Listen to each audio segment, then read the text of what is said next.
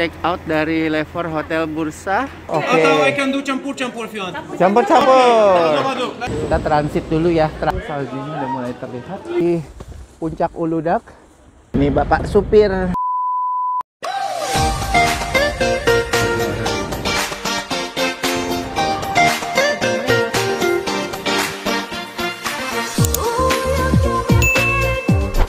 Guys, kita mau breakfast dulu hari ini.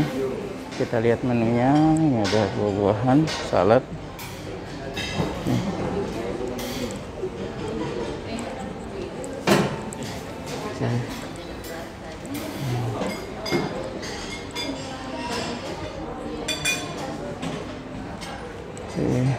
Ada telur. Nggak tahu ini apa. Sorry.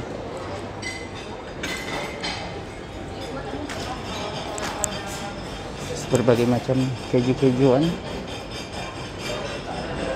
Oke. Ini apaan belum dibuka? Macam es krim. Oh, es krim.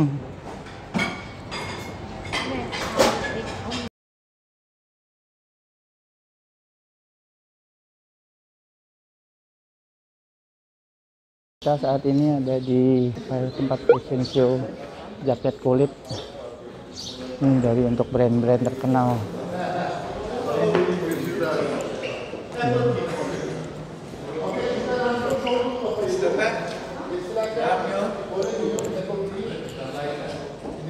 Salah satu minuman khas dari Jazud dari Turki apple tea rasanya manis Oke. Sorry.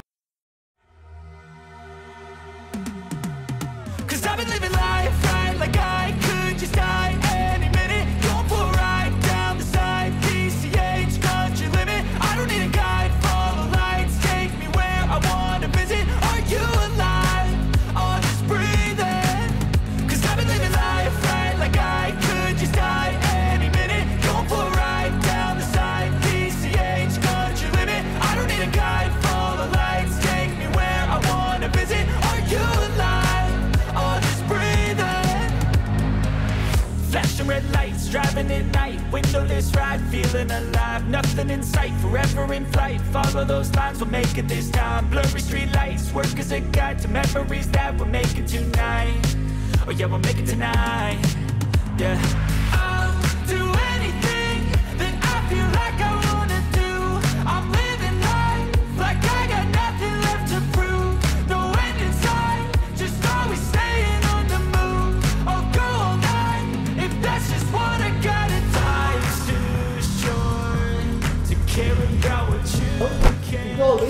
cow leather, which is quite thick and heavy. Apart from that, in Central Europe, they like sell also goat and pig skin, which we don't recommend. Because by goat and pig skin, you may have the problem if the leather becomes you wet through the rain several times, they might smell really bad. Okay, so it's too risky. It's not recommended.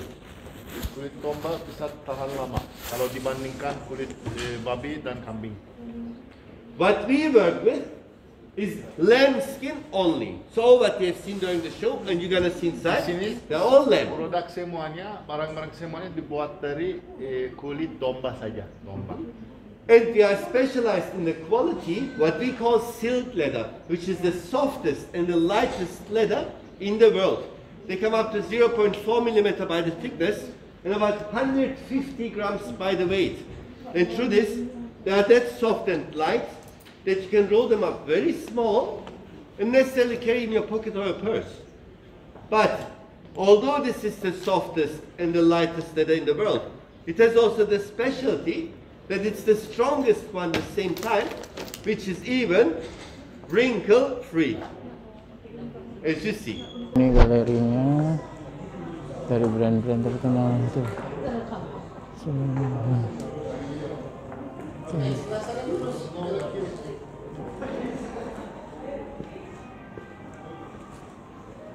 Kelihatannya mahal-mahal. sebelah sini ya belok kanan lurus ada tempat parkir Guys, kita ada di Efesus. Efesus ini tempat peninggalan Romawi. reruntuhan. Tapi jujur, buat saya ini tidak menarik. Saya tidak suka ini. Mendingan saya ke salju lagi. ini cuman puing-puing doang.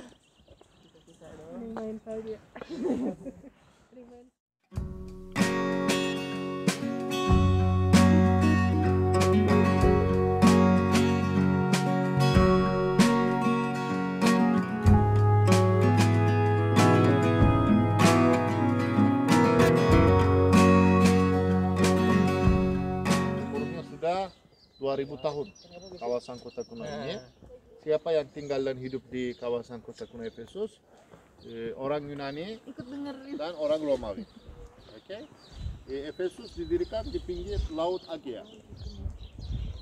Boleh dibilang menjadi kota pelabuhan, kota trade, commerce. Eh, tapi eh, abad ke sebelas, so- sorry, eh, abad ke sembilan eh, ada satu sungai mengalir dekat dari kota, bawa banyak lumpur. Jadi pelabuhannya diisi dengan lumpur, banyak lumpur. Jadi air mengalir bawa banyak lumpur dan pelabuhan ditutup. Kalau kapal tidak boleh masuk ke pelabuhan, berarti tidak ada trade, tidak ada uang. Mereka harus pindah dari saat dari sini ke mana ke Efesus lain. Halo, saya nggak bawa makanan, maaf. Tinggalan. Hai, hai. Enggak, takut. Parlemen namanya Memmius. Ada satu orang Takut dicakar,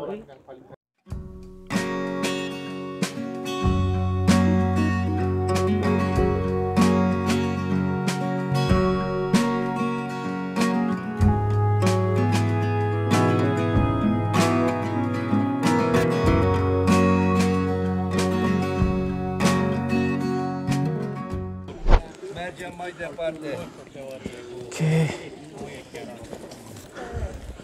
Ini dia Efesus.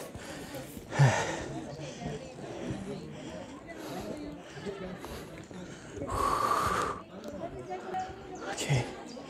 Sip. Bye bye. See you.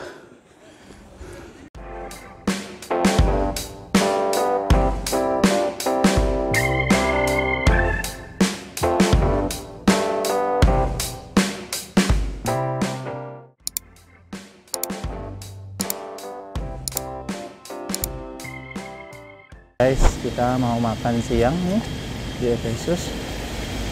Oke, ini restorannya. Sistem makannya buffet. Kita lihat menu makanannya apa. Hmm. Hmm. Hmm.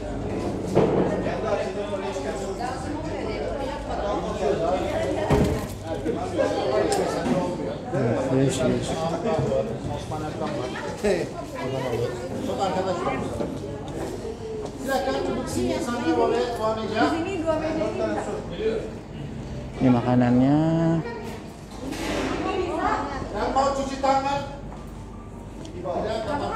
Salad makanan wajib di Turki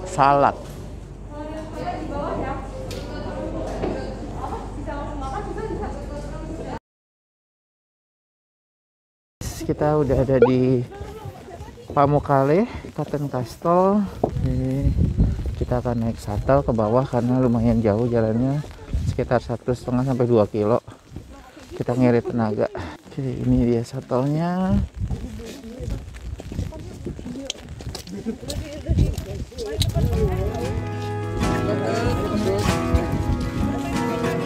Kita tengah ya ini ya oke ini ada antik pool tempat mandinya Cleopatra nih guys Nggak boleh. Kalau mau kita di hotel kalau air panas mantap, ih enak banget malam. Udah selesai. Oke guys, ini tempat pemandian belerang.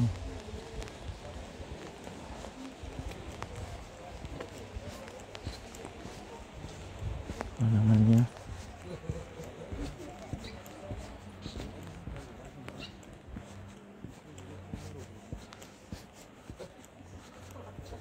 Oke. Oke.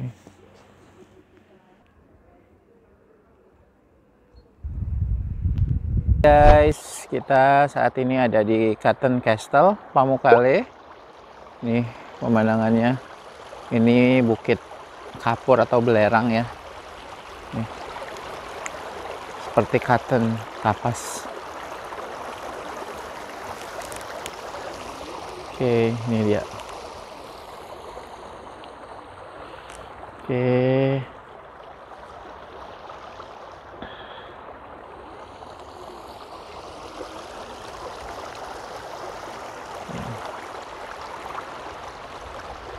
Kita menyusuri ke bawah. Oke.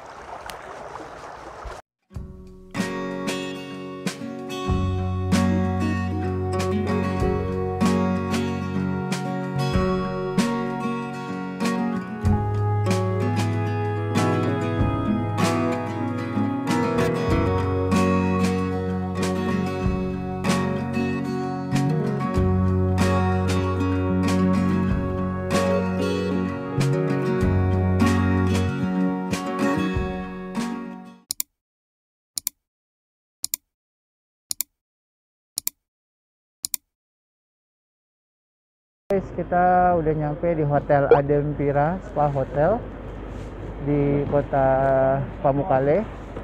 Ini kita mau masuk ke hotelnya. Bintang 5 guys. Ini hotel bintang 5 Adempira di Pamukkale ya.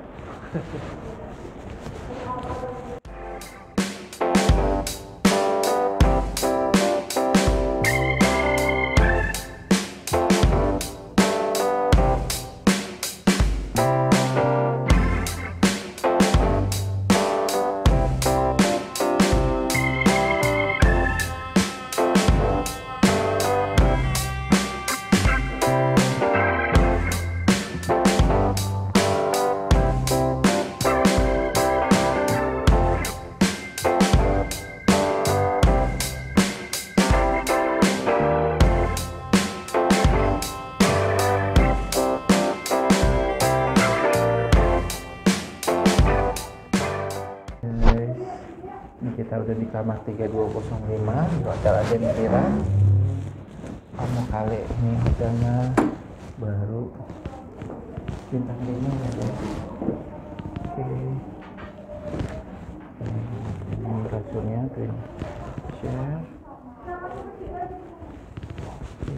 Ini TV ini